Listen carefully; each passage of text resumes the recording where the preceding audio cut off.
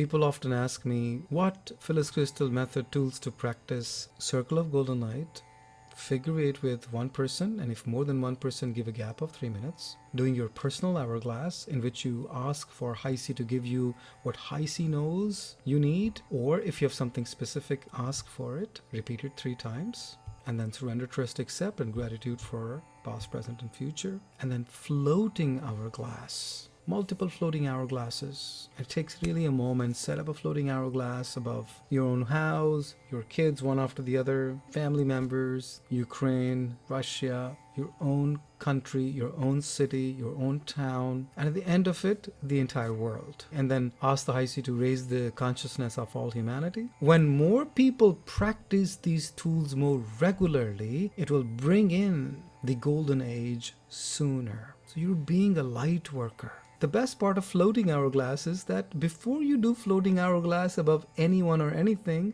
you're required to do your own personal hourglass. The hourglass is the manifestation tool in the toolkit of Phyllis Krystal method. I love May.